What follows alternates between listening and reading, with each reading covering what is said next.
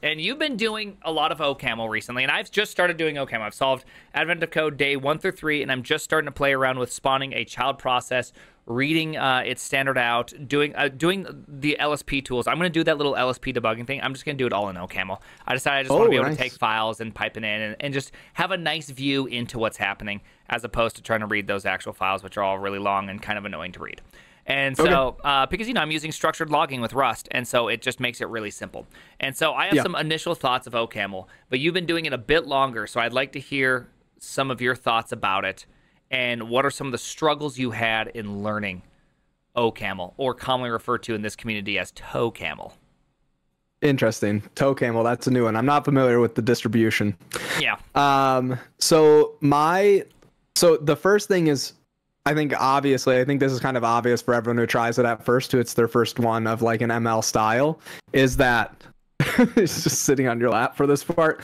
Um is that like the syntax is very different. And so for some people that's gonna be pretty off putting, right? For like the first time that they they use it. So I think that that's probably like the first thought off the rip.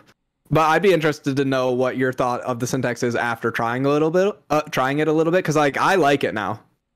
So, so the syntax really hasn't caught me too much. It's more like, you know, they say like when, when you're learning a new language. I've never learned a new language, by the way, but they say when you're learning a new language that you still dream in the language you knew.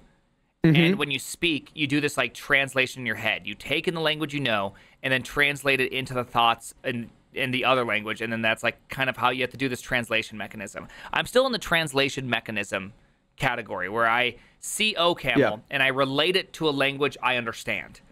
And so it's like I'm constantly doing this relation game, which is okay, which is the part of any learning experience. But at the same Yep. time, because I'm not quite fluent in it, things feel foreign, though I really do mostly get it. Like it feels easy to learn. Uh, obviously, I'm still a little bit worried about doing like string concatenation versus adding two numbers versus adding a float versus adding whatever, right? I know that there's like Yep. some ununiformity in type uh, in inference that is super cool, but that's kind of like my first take on on the syntax, which is it's virtually Yep. no different, and you can still do procedural if you wanted to, right? Like there's still while loops, Yep. which I think is great. Yes. So so that's sort of like after the initial impressions with OCaml and like literally the first time maybe that you read an ML style syntax. I think uh, some of the good stuff about it is you start seeing like, oh, I don't have to write types for anything because it has real type inference and it's Yes. really good. Real type Um, inference, not type definition inference, which is different. Yeah, not just making up new types. So the difference is that there's always only one type for everything. Like everything Yes. always only has one type, which is not the same thing as like TypeScript just says like we can figure out all the types that this thing could be, kind of. Because it like whatever whatever it means when like there's an any somewhere in the mix. Yep. Uh, but but so so I think like that part feels really good and and is really really nice. I think the and, and like the type system itself is is good. I think it feels sound and the way that you do it feels really sturdy. Like you write something and then you feel pretty good that it's going to work. Very similar to the feeling that you get when you write Rust, I think, right? Where you feel like, oh, it compiled and my types are correct. I mean, except when you have magic numbers, which I saw when you were doing last night, you were had some magic numbers problems to solve for um, the advent of code. But yeah. yeah. Um, Okay, The- so the I, thing I, that I I really- like that. Hold on, let me Oh, jump in there on the on the inference. Yeah. Let's let's go back and forth on these. You'll lead it. I will do Okay. the I'll do the thing. I really like the inference. So I've always been a very big hater of TypeScript inference. I've always said, hey, I think that you're really using this language wrong. And a big reason I'll, I'll explain a bit more why I say type definition uh, inference versus type inference. So in TypeScript, when you return a grab bag of properties, key values, it actually creates a type in that moment and says your type is in this shape. And the problem with that is that you didn't really, there's no hard definition of it.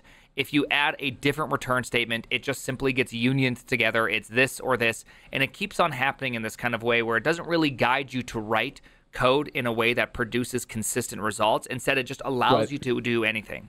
And when you want to change something, it doesn't break at your return point, it breaks at the usage point. And that to me seems like a really bad kind of uh, a trade off.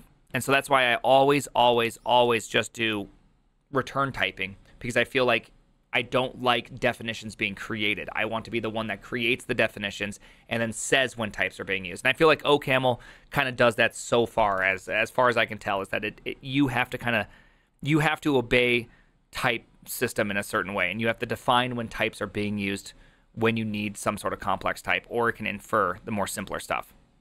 Yeah, it can actually infer almost like in in practice practically like everything um in terms of like day-to-day style coding things. Obviously, there are cases where you're going to need to write stuff down, and the reason that it can do that is because it can everything can always only have one type. So you can't return string and number, right? Or array of numbers or array of strings. You have Yeah. to return some type that could hold both of those as a variant, right? Where you would have like a variant that says list of nums or list of strings. Mm-hmm. And then you have to handle those on the downstream consumer. You can't just like only do one of them, right? Yeah. Tuples are fine to return, but the tuples will all have the same type, Yep. which Yeah. could have like a type. They're called type holes, right? So it could be like, I know that it's going to be um, a tuple with like length two, right? But they could both be sort of like generics, is how you think about it in a different language, right? Like, yeah, you can have if you had a function that polymorphism take- over types, right?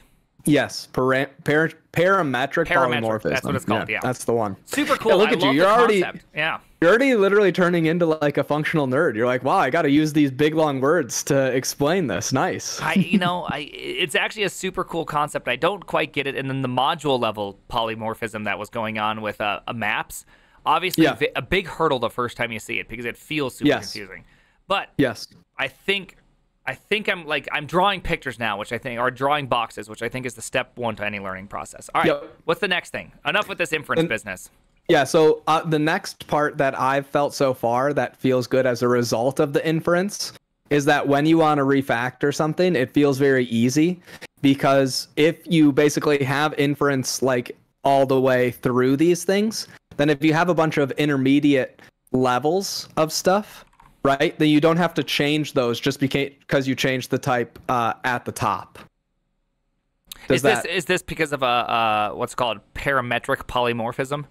Yes, it is, right? So it's like if you had if if in Rust, right, I change the like type of something, right? And I want to change the return type of something from like A to B. Now I have to go to all the places that like relied on this function returning A. Even if I don't use A, right? I'm just literally like passing it through Yeah. everywhere. I'm not actually not doing anything with A. I'm just passing it through. Now you have to go fix all those, which is extra worse if now B also has a lifetime.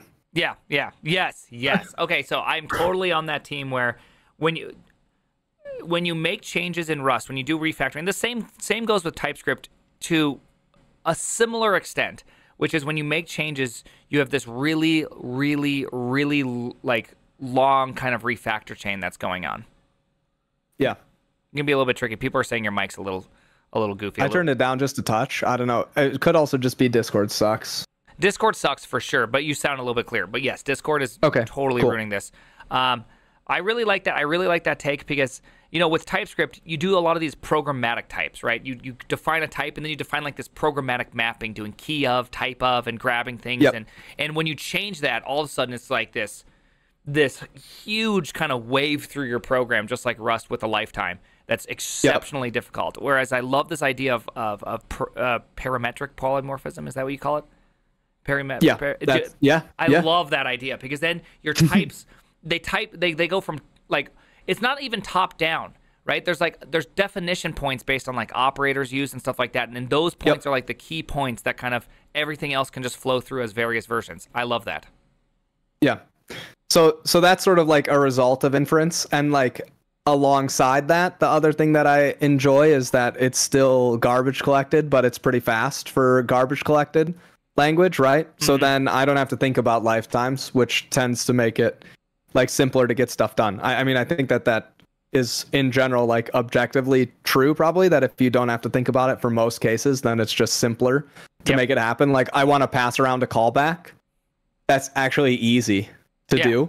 Yeah callback is a great like- example. Great example. I i can never figure out whether i'm supposed to use fn fn once fn mute. Oh it's actually not fn you're passing a closure. Oh these async closures don't have the same. And you're like oh no. And the like, moment- just i can't. Ugh, you need to mutate something and it's like boom fn mute. And then it's just like it, that the mute also because it's like a type, it spreads the exact same way. Yes. Which is very interesting. Like I love the idea of specifying mutations, but it also is leaky. It just like it just grows outwards. So, and we've talked a little bit about where I see like some of the future of OCaml potentially going with the work that's been done, like being done by Jane Street and others, right? With this idea that maybe there will be parts of the language where you can opt in to effectively no garbage collection, right? Because you're going to be able to just stack, put these on like a data stack and they'll get allocated and deallocated like without having to do garbage collection, right? So that's, so that's like a big, win in terms of where I see the future of OCaml going, which makes me happy. Like I like w- where it's looking. Yeah. Um, which is a good feeling to have, even if that doesn't land, say for five years, right? You're like, oh, maybe it's not going to land for five years. Well, that's okay. Like, I at least like the direction is something I like. That Yeah. makes me happy Yeah. comparatively to thinking, oh, we're just going to have C 37 and like a plur- proliferation of new features that I can't keep up with. Yes. Right. So The- that that's maybe somewhat different. Yeah. Yeah, the uh, I, I always believe C++ plus best way to describe it is that features continue until morale improves. Right? Like Yeah, that was a only- good. T- Did that tweet do well? I felt No. like it should have done better. It did not. It did horrible, which is surprising Yeah. because it's amazing. Uh, all right. Well, Yeah. hey, I like this old camel talk. I'm very excited. Here's like, here's to month two. I'm only like 10 hours into actual programming of OCaml, but I love it. yes. I love Nice.